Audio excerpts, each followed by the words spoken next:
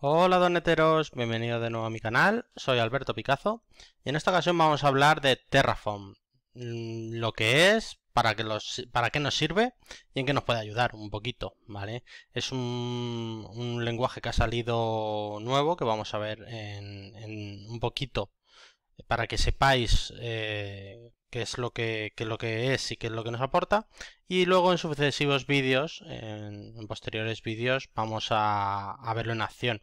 Pero de momento me interesa como ya sabéis y suelo hacer en, todos los en todos los vídeos es una pequeña intro para que os familiaricéis y no empezar ahí a cañón porque hay mucha gente que a lo mejor le puede no, no en esta temática sino es posible que en otras que le pueda eh, ver que, eso es muy difícil para ellos y yo intento que, este sea un canal para todo el mundo, ¿vale? Entonces si ya sabéis lo que es, pues bueno, saltaros si queréis este vídeo, iros a, los siguientes.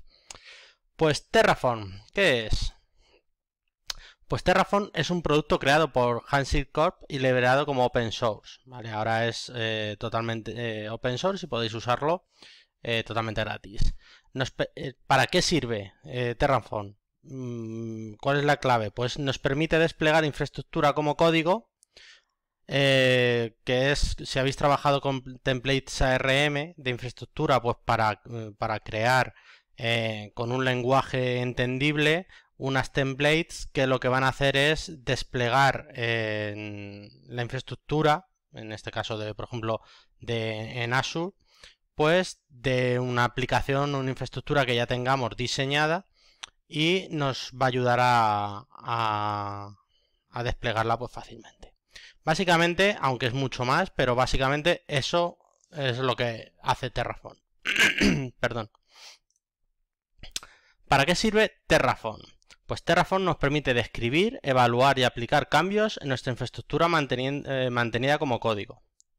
Facilita el despliegue de infraestructura tanto en cloud como en on-premise y podemos usarlo con un gran número de providers, pues como Amazon Web Service, Azure y muchísimos más. Nos podéis hacer luego dejar un link en la descripción de la cantidad de proveedores que tiene Terraform. Espera, de hecho, mira, aquí tengo un, un link, mira, para que os hagáis una idea.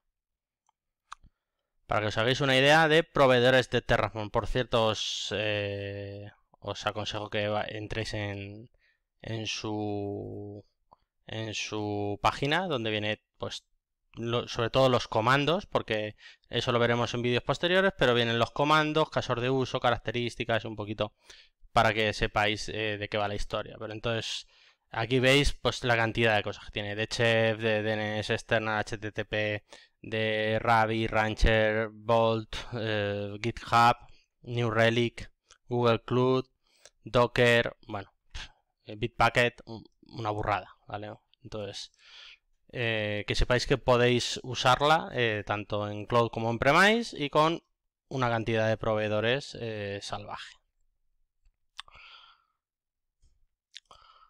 Luego, las características que tiene Terraform, pues la infraestructura como código, pues planes de ejecución, representación gráfica de recursos y automatización de cambios.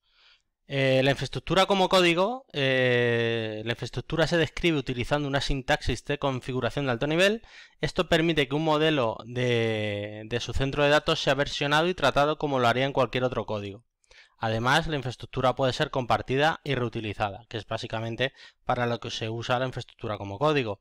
Para tú dejar una template, eh, pues digamos que eh, adjunta o, añadida en tu aplicación, la cual puede ser reutilizada por el resto de compañeros o de aplicaciones o depende de cómo modularices esa template para otros proyectos o para eh, generar pues la infraestructura.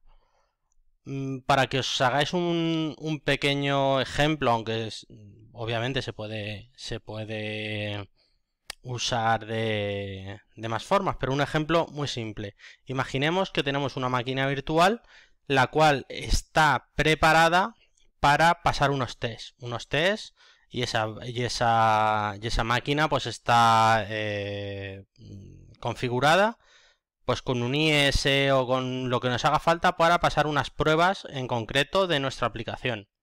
Una máquina virtual tiene un coste en cloud, Si es on-premise, pues bueno, pues tienes tu máquina, pero si es una máquina en cloud, pues todo el rato que esté enchufada, pues, eh, pues cuesta dinero. Pues imaginaros que, que, a la hora de lanzar nuestras builds eh, o pasar nuestros tests en un pipeline de Azure DevOps, podemos levantar esa infraestructura, o sea, crearla al vuelo, que se pasen esas tests y una vez pasados que se destruya y no quede rastro de, esa máquina. Es, eso se puede hacer con Terraform, ¿vale? Es un ejemplo, hay muchos, ¿vale? Pero para que podáis ver la, potencia de todo esto. Entonces, eh, otra de las características es la planner de ejecución, que, Terraform, y lo veremos en los vídeos de ejemplo, tiene un, un paso mm, que se llama plan, ¿vale? Que significa planificación, donde genera un plan de ejecución. El plan de ejecución muestra lo que hará cuando ejecutemos Terraform Plan. Esto te permite evitar sorpresas eh, una vez que Terraform manipule la infraestructura. Es decir, es como, es como decirle, oye, ¿qué, mm, ¿qué vas a hacer?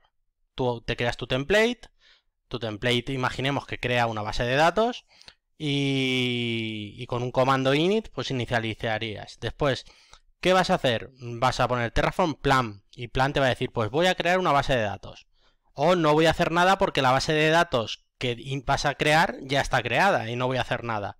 ¿Vale? Pues eso sería como el plan de ejecución. Eh, luego, ¿qué tiene? Representación gráfica de recursos. El Terraform construye un gráfico de todos sus recursos y paraliza la creación y modificación de cualquier recurso no dependiente. Debido a esto, perdón, que tengo la garganta construye la infraestructura lo más eficientemente posible y los operadores obtienen una visión sobre la dependencia de su infraestructura.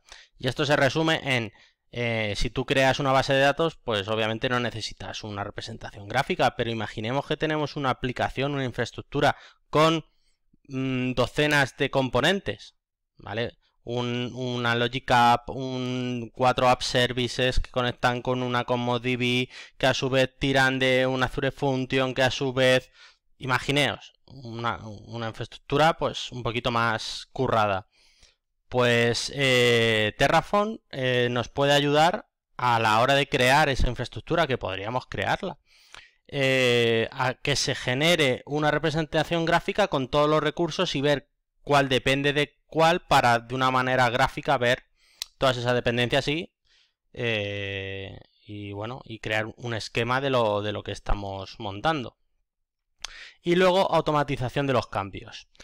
Eh, los conjuntos de cambios complejos se pueden aplicar a la infraestructura con una mínima interacción humana. Con el plan de ejecución y el gráfico de recursos antes mencionados, usted sabe exactamente lo que cambiará Terraform y en qué orden, evitando muchos posibles errores humanos. esto lo dice, no lo digo yo, ¿vale? Lo estoy leyendo de, la documentación de Terraform, ¿vale? Eh, una ejecución básica para un despliegue en Azure pongamos, eh, repito, no solo es para Azure, yo es los conocimientos que tengo, pero no solo es para Azure. ¿Qué habría que hacer? Y eso lo vamos a ver en, el siguiente vídeo que haga sobre Terraform, un ejemplo con todo esto. ¿Qué, eh, ¿Cómo se usa, Terraform? Pues primero habrá que bajar eh, Terraform para poder ejecutar los comandos en, la consola o en PowerShell. ¿Qué nos va a hacer falta? Pues si vamos a interaccionar con, con Azure, pues hay que bajar Azure CLI, que también son el SDK de, línea de comandos de Azure. Después que tenemos que hacer, crear un archivo TF, extensión TF que es de Terraform, con la declaración de la infraestructura. Como vamos a ver en, el siguiente vídeo, es, una, es un, lenguaje declarativo y, y, la verdad es que bastante, se entiende bastante bien. Y luego, pues una vez que tenemos nuestro archivo, tenemos instalado Terraform, Azure CLI y por supuesto si queremos eh, desplegar en, un en, Azure tenemos que tener una cuenta de Azure, ¿vale?